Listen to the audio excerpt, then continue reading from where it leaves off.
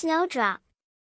It was the middle of winter, when the broad flakes of snow were falling around, that the queen of a country many thousand miles off sat working at her window. The frame of the window was made of fine black ebony, and as she sat looking out upon the snow, she pricked her finger, and three drops of blood fell upon it.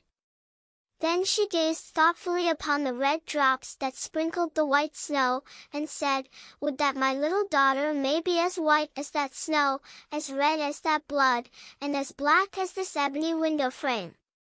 And so the little girl really did grow up, her skin was as white as snow, her cheeks as rosy as the blood, and her hair as black as ebony, and she was called Snowdrop. But this queen died, and the king soon married another wife, who became queen, and was very beautiful, but so vain that she could not bear to think that anyone could be handsomer than she was. She had a fairy looking glass, to which she used to go, and then she would gaze upon herself in it, and say, Tell me, glass, tell me true. Of all the ladies in the land, who is fairest, tell me, who? And the glass had always answered, Thou, queen, art the fairest in all the land. But Snowdrop grew more and more beautiful, and when she was seven years old she was as bright as the day, and fairer than the queen herself. Then the glass one day answered the queen, when she went to look in it as usual, Thou, queen, art fair, and beauteous to see, but Snowdrop is lovelier far than thee. When, she heard this she turned pale with rage and envy, and called to one of her servants, and said, Take Snowdrop away into the wide wood, that I may never see her any more. Then the servant led her away, but his heart melted when Snowdrop begged him to spare her life, and he said, I will not hurt you, thou pretty child. So he left her by herself, and though he thought it most likely that the wild beasts would tear her in pieces, he felt as if a great weight were taken off his heart when he had made up his mind not to kill her but to leave her to her fate, with the chance of someone finding and saving her. Then poor Snowdrop wandered along through the wood in great fear, and the wild beasts roared about her, but none did her any harm. In the evening she came to a cottage among the hills, and went in to rest, for her little feet would carry her no further. Everything was spruce and neat in the cottage, on the table was spread a white cloth, and there were seven little plates, seven little loaves, and seven little glasses with wine in them, and seven knives and forks laid in order, and by the wall stood seven little beds. As she was very hungry, she picked a little piece of each loaf and drank a very little wine out of each glass, and after that she thought she would lie down and rest. So she tried all the little beds, but one was too long, and another was too short, till at last the seventh suited her, and there she laid herself down and went to sleep. By and by in came the masters of the cottage. Now there were seven little dwarfs, that lived among the mountains, and dug and searched for gold. They lighted up their seven lamps, and saw at once that all was not right. The first said, Who has been sitting on my stool? The second, Who has been eating off my plate? The third, Who has been picking my bread? The fourth, Who has been meddling with my spoon? The fifth, Who has been handling my fork? The sixth, who has been cutting with my knife. The seventh, who has been drinking my wine. Then the first looked round and said, Who has been lying on my bed? And the rest came running to him, and everyone cried out that somebody had been upon his bed. But the seventh saw Snowdrop, and called all his brethren to come and see her, and they cried out with wonder and astonishment and brought their lamps to look at her, and said, Good heavens! What a lovely child she is! And they were very glad to see her, and took care not to wake her, and the seventh dwarf slept an hour with each of the other dwarfs in turn, till the night was gone. In the morning Snowdrop told them all her story, and they pitied her, and said if she would keep all things in order, and cook and wash and knit and spin for them, she might stay where she was, and they would take good care of her. Then they went out all day long to their work, seeking for gold and silver in the mountains, but Snowdrop was left at home, and they warned her, and said, the queen will soon find out where you are, so take care and let no one in. But the queen, now that she thought Snowdrop was dead, believed that she must be the handsomest lady in the land, and she went to her glass and said, Tell me, glass, tell me true. Of all the ladies in the land, who is fairest, tell me, who? And the glass answered, Thou, queen, art the fairest in all this land, but over the hills, in the greenwood shade, where the seven dwarfs their dwelling have made, their snowdrop is hiding her head, and she is lovelier far, O queen! than thee. Then the queen was very much frightened, for she knew that the glass always spoke the truth, and was sure that the servant had betrayed her and she could not bear to think that anyone lived who was more beautiful than she was, so she dressed herself up as an old peddler, and went her way over the hills, to the place where the dwarfs dwelt. Then she knocked at the door, and cried, Fine wares to sell.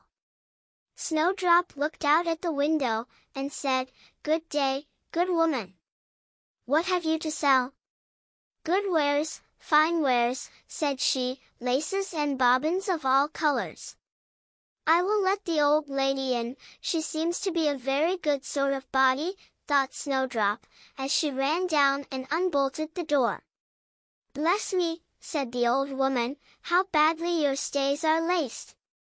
Let me lace them up with one of my nice new laces.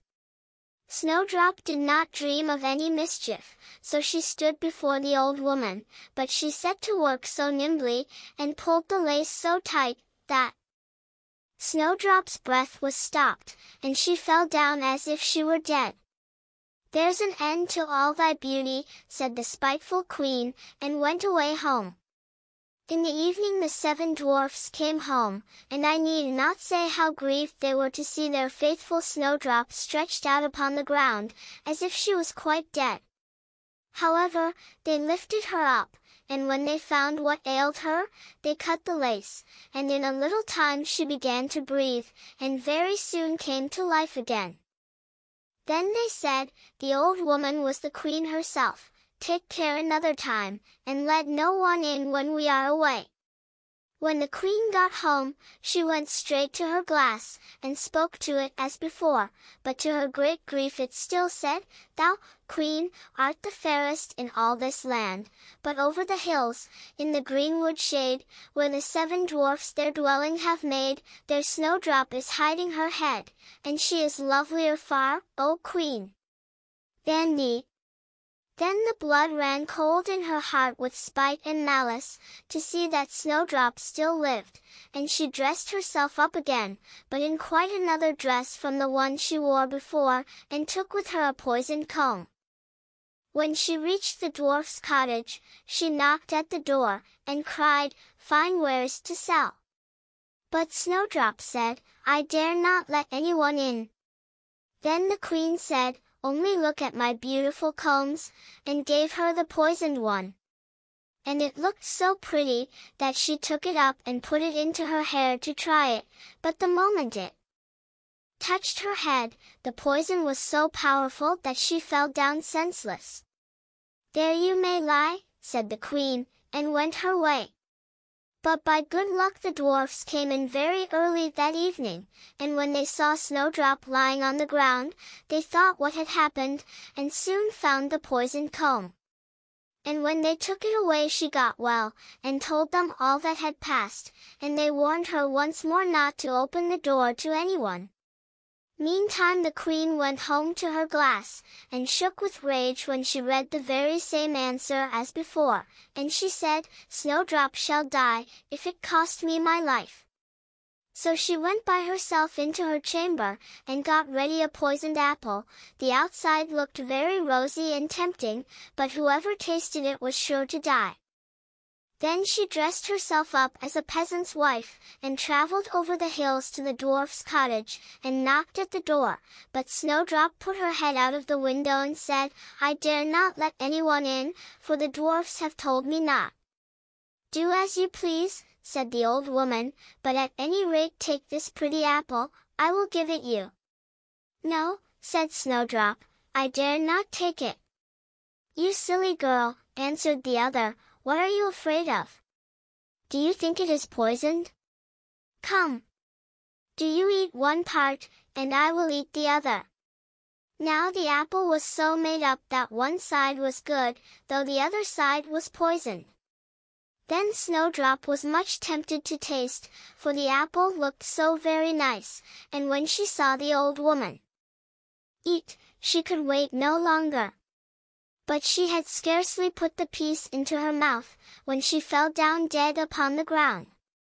This time nothing will save thee, said the queen, and she went home to her glass, and at last it said, Thou, queen, art the fairest of all the fair.